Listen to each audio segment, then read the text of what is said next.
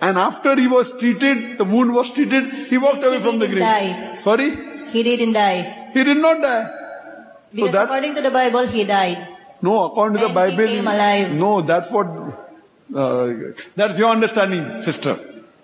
So that So means how if you can prove it?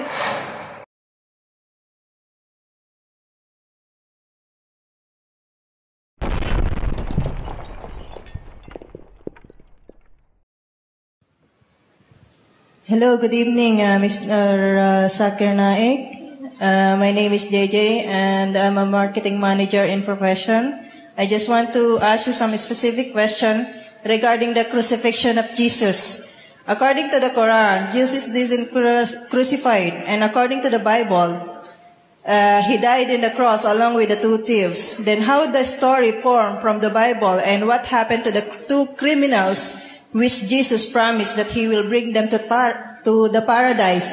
And also, uh, who is the one, who is the man who is crucified along with the two thieves?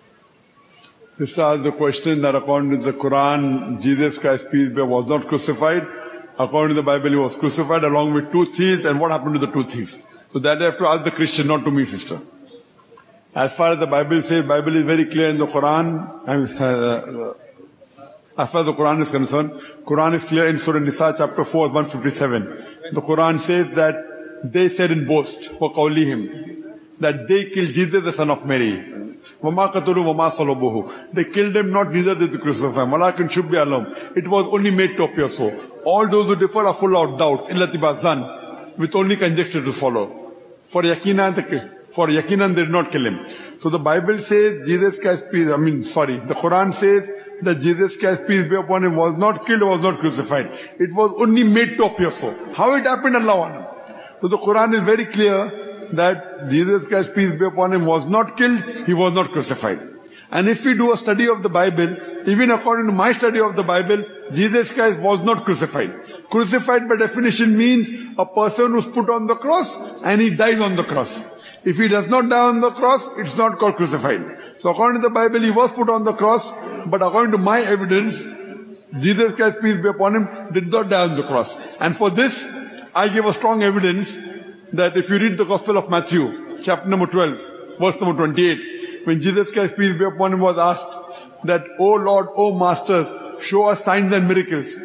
So Jesus Christ, peace be upon him, replies, for no sign and miracle shall be shown to you except the sign of Jonah. For as Jonah was three days and three nights in the belly of the fish, so shall the Son of Man be three days and three nights in the heart of the earth. And if you know the sign of Jonah, sister, the, there's the book of Jonah, which is hardly two sides in the Bible. It says that Prophet Jonah, he was asked by Almighty God to go to Nineveh. But he does not obey Almighty God and he goes to Joppa. Now while he's traveling to Joppa in a boat, in a ship, there is a storm that comes. And there was a superstition of that time that the storm that comes is due to someone disobeying the master. So they take out lots to find out who is the person who disobeyed the master. Uh, prophet Jonah, being the prophet of God, he volunteers and says, I am the person who's run away from the master. So they want to throw him overboard. Now when they throw Jonah overboard, sister, I want to ask you, was Jonah dead or alive? Sister, do you know the sign of Jonah? Sister, you're a Christian, huh?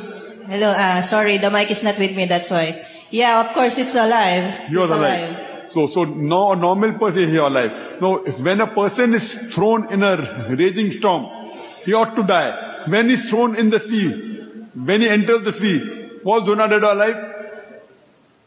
Yeah, he's alive. Alive. Later on, a fish comes and gobbles him up. When a fish gobbles a man up, a man ought to die. Was Jonah dead or alive? Yeah, it's alive. alive. So miracle of a miracle. Thrown overboard, alive. A fish comes and gobbles alive. For three days and three nights, according to the Bible, he was in the belly of the fish. For three days and three nights, when he prayed to Almighty God, was he dead or alive? Yeah, he's alive. For three days and three nights, a man ought to suffocate and die of suffocation. He's alive, alive, alive, alive. When the fish gobbles him out, was Jonah dead or alive? Alive. alive, alive, alive, alive, alive. Miracle of a miracle of a miracle of a miracle. So Jesus Christ, peace be upon him, puts all his eggs in one basket and says, as Jonah was three days and three nights in the belly of the fish, so shall the Son of Man be three days and three nights in the heart of the earth. So when Jesus Christ, peace be upon him, after he was removed from the cross and put in the sepulchre, was he dead or alive? He is dead, according to the Bible. According to the Bible, according to your understanding of the Bible. The Bible doesn't say he was dead. The Bible says he was put in the sepulchre. Now, that means Jesus Christ told a lie. Nauz billah. Did, did Jesus tell a lie? That means. Peace be upon him. He said, as Jonah was three days and three nights, so shall the Son of Man be three days and three nights. If Jonah was alive, Jesus Christ, peace be upon him, has to be? Has to be? Alive or dead, sister? Has to be alive. Alive. So that means he was alive. So Bible also says he was alive. And who is the one who is crucified on the cross? Along with the two no, thieves. he was crucified according to me. He did not die. Crucified means someone who dies on the cross. So if you read the Bible, he was put on the cross. On the cross he prayed, Eli, Eli, lama sabachthani. Oh God, oh God, why hast thou forsaken me? He was put on the cross, but because it was a Sabbath day, and it was, he, when he was crucified on Friday, before Sabbath, before Saturday, it was the teachings of that time of the Jews that no one can be crucified on a Saturday. So before Saturday comes, they bought Jesus Christ from the cross, brought him down early. So according to me, he did not die on the cross, he was alive. Do you understand, sister? So according to my understanding of the Bible, because it was a Saturday, Sabbath day, the soldiers brought him down early and they put him in the grave. But in the grave, the grave as you read in the Bible was a, was a big room. He was alive. And after that, the next day, on Sunday morning, you find that the stone was removed. Who moved the stone? And the grave was empty. How did the grave become empty? Huh? So that means Jesus Christ, peace be, was alive.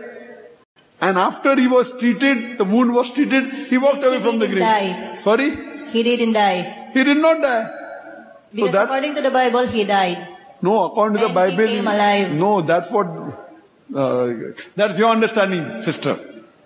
So that So means how if you he, can prove it? no, if he died, that means Jesus Christ told a lie, peace be upon him. He said, as Jonah was three days and three nights, so shall the son of man be three days and three nights. So was Jonah dead or alive? Sister, was Jonah dead or alive in the belly of the fish?